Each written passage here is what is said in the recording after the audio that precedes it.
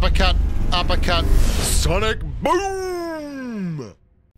Well, hello there YouTube, I'm Bushka and today's video is about the Honey Badger, the 762 AR that was introduced only very, very recently, but I think it's time to take a look back at what the Honey Badger has done in its first quarter of play and figure out whether it's a great weapon, a good weapon, or a weapon that's just a little bit misunderstood. And I think there is something from each of those columns that gets together to make the Honey Badger.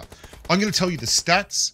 I'm going to tell you a little bit about the weapon you probably don't know, uh, how it should be used, uh, how a lot of people don't use it correctly, uh, and maybe, just maybe, you can come away from it with a bit of an appreciation for the gun itself and be better at the gun. Because I think this is a tremendously underrated weapon that doesn't get enough play. And I'm going to tell you why throughout the course of the video.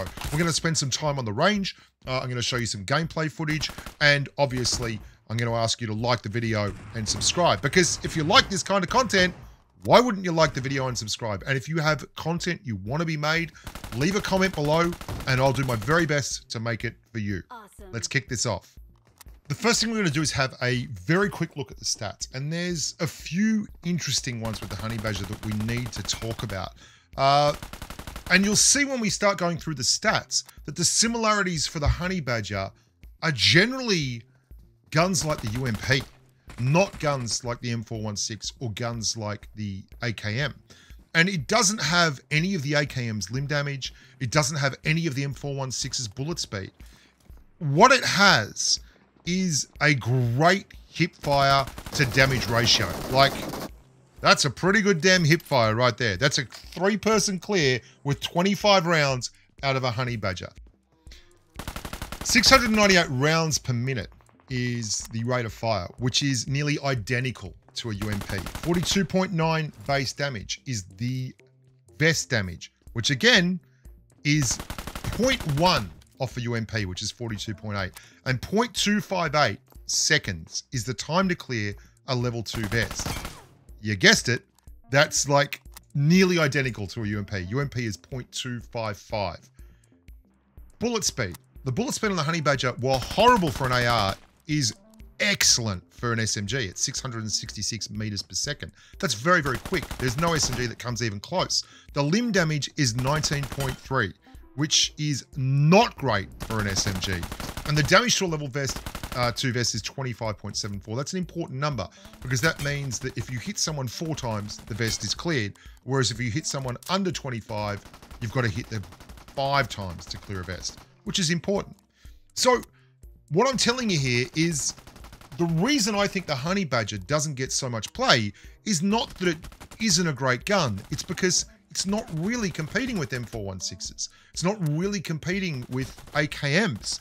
It's competing with UMPs, and UMPs are incredibly popular. Another thing people don't like is this animation. I love it uh, because they feel like it stops you from firing quickly, but it doesn't. You've just got to time it correctly. See, it feels like you can't fire until the gun is fully cleared out, but you can actually fire as soon as it comes to bear. It's quite easy. You'll see as soon as you get used to it, bang, you're firing straight away. So what I'm telling you is you've got to use it more in terms of hip fire, okay? And that means you're going to be doing a lot more of this. I mean, look at that. That's that's a 762 AR. And people tell me it's got really tough recoil. No, an AK has really tough recoil. AK is pretty much the hardest uh, AR to control recoil-wise. Well, apart from a FAMAS, but no one's going to be using that thing anytime soon. But I can set an AK up to spray with a 3x, a, 6x down to a 3. Like, uh, if you can do that with an AK, there is no way that the Honey Badger should be giving you issues. And I don't think the player base is all that good at experimenting. Let me show you what the player base hates about this gun. I'm going to get the Honey Badger and I'm going to get the M416. And what people love about the M416 more than any other gun in the game is that if you lie prone, it has no animation kick, okay? Now, if you're not going to use a Honey Badger as your primary because you love the UMP or you want to run a DBS, and you see this animation kick. See how the two rounds, the first two rounds, there's a huge jump. then you have a look at the M4. There's no jump. It doesn't jump. There's no jump. If you stand with an M4, you get an animation kick. And if you stand with a honey badger, you get an animation kick. And this is where, like, that's an animation kick. The only time you don't get it is when you're prone with an M416. Uh, there are other guns, but we're not going to go into that.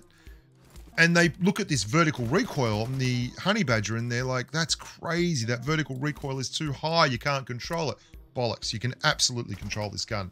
And I wanted to go back and look at this gun. So I've been playing it a lot lately, a lot. And it's a great primary slot CQC weapon. And once you get your sensitivity sorted, it's an absolute banger. The sensitivity is so easy with this thing. You literally just add like 10% to everything you've got on your standard M4 or AK uh, M4 or Scar L, and you're going to come up with a winning combo. Is it fantastic at long range sprays? No, but it's not built to be fantastic at long range sprays. What it's built to do is close range CQC ADS or close range CQC hipfire. You can spray with it. You can spray with it, but it's not the recoil that kills it the reason the M416 and the Scar L and the AUG are so successful at spraying is not that they have no recoil. It's that they have 900 to 937 meters a second bullet speed. That is what creates the accuracy in the weapons. If you have 666 meters a second bullet speed, you're not going to be very accurate. It means you have to lead the target by an awful lot. The Honey Badger doesn't do that very well. But 666 seconds meters a second is outstanding for a CQC hipfire weapon. It's a kind of thing that just means you really don't have to worry too much about the bullet getting there earlier. And in PUBG Mobile, that's what's so important. What do I mean by that? Well, you're playing UMP versus Honey Badger, right? Um, if you both fire rounds at exactly the same time, pointing at each other's chests, and all your rounds hit, then the honey badger wins because the rounds get there quicker. And the other guy's rounds don't count anymore. And that just means you've got a solid, solid CQC weapon that can work really, really well in hip fire and in the mid range, and it won't let you down.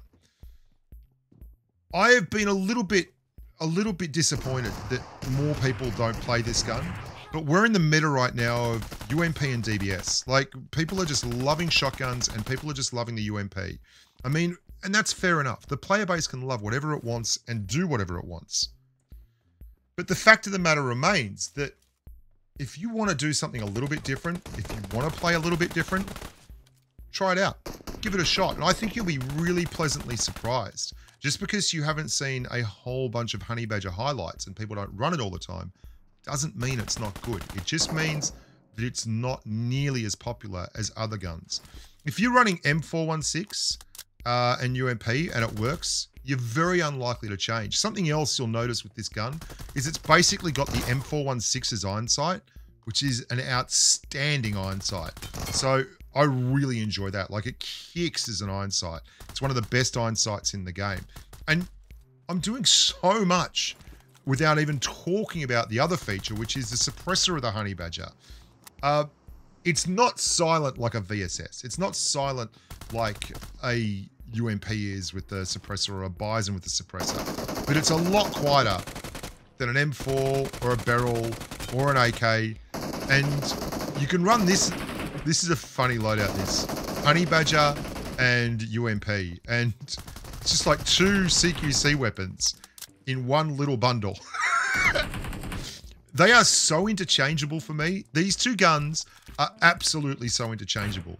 Um, so simple too. You don't have to worry about an attachment with the Honey Badger. You can put anything on it, like a thumb, uh, not a thumb grip, a um, muzzle brake, a compensator, obviously great, but you can double down with a suppressor or a flash hider. All of them work as I break the second freaking revive on McDingaling and Poor old dingers.